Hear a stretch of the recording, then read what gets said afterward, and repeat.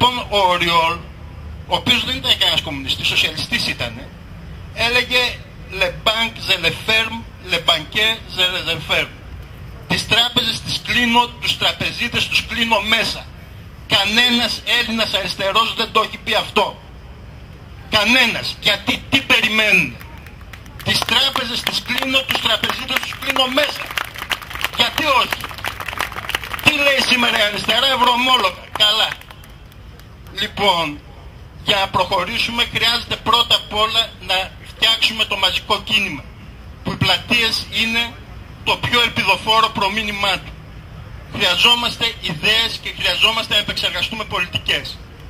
Οι ιδέες χρειάζονται υπόβαθρο. Ευτυχώς στα ελληνικά έχουμε ήδη το βασικό, βασικά βιβλία τα οποία θα μας επιτρέψουν να δούμε στην ιστορική της προοπτική αυτή την κρίση.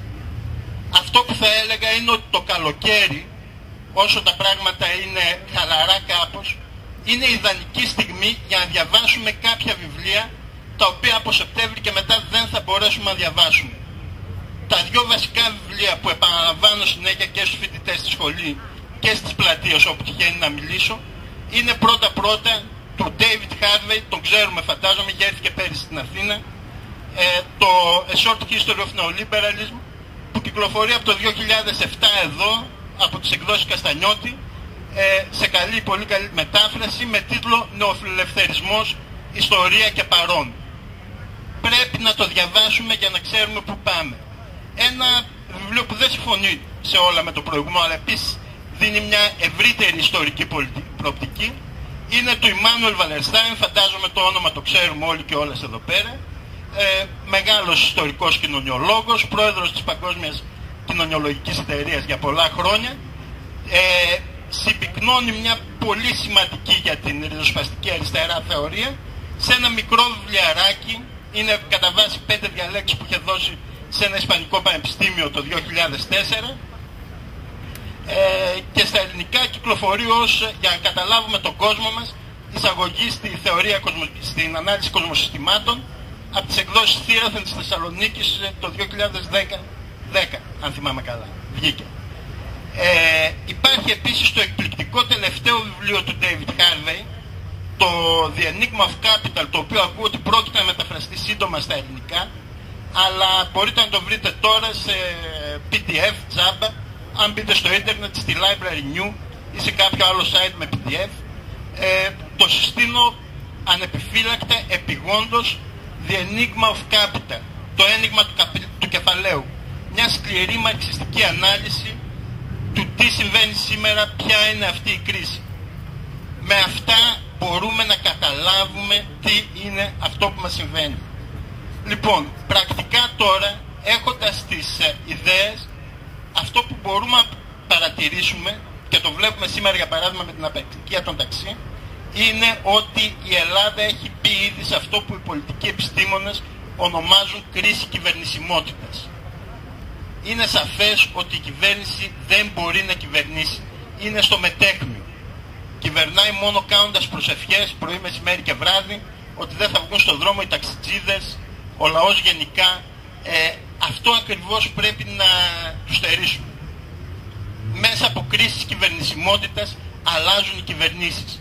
Εμείς όμως δεν αρκεί να μείνουμε εδώ, πρέπει αυτή την κρίση κυβερνησιμότητας να την μετατρέψουμε σε κρίση νομιμοποίησης του καπιταλισμού και αυτό είναι κάτι που μπορεί να γίνει. Ο David Harvey ε, το περιγράφει αυτό πολύ καλά, ο οποίος παρεμπιπτόντος ε, ήδη στο βιβλίο του, στο, σε αυτό που σας ανέφερα πρώτο, το ε, νεοφιλελευθερισμό, ιστορία και παρόν, γραμμένο το 2004, προβλέπει ότι μπαίνουμε όπου να είναι στην κρίση, όπως και μπήκαμε, και μάλιστα στο Enigma of Capital που γράφηκε το 2010, ε, κάπως αρκετά αστεία, ε, προβλέπει ότι στο μέλλον τα δύο κόμματα που θα συγκρουστούν θα είναι από τη μια μεριά το κόμμα των νεοφιλελεύθερων και από την άλλη το κόμμα όπως το ονομάζει των αγανακτισμένων. Δεν ξέρω αν είναι σύμπτωση ότι ε, οι πλατείες ονομάστηκαν έτσι από την αρχή. Λοιπόν, αυτό που ε, πρέπει να κάνουμε πρακτικά είναι να βρούμε τρόπους στη συνέχεια πολιτικές πρέπει να τις επεξεργαστούμε συλλογικά αυτές για να προστατευτούμε από το τσουνάμι της παγκόσμιας χρηματοπιστωτικής κρίσης που επέρχεται, αν όχι αυτή την εβδομάδα, τον άλλο μήνα και αν όχι τον άλλο μήνα, τον άλλο χρόνο.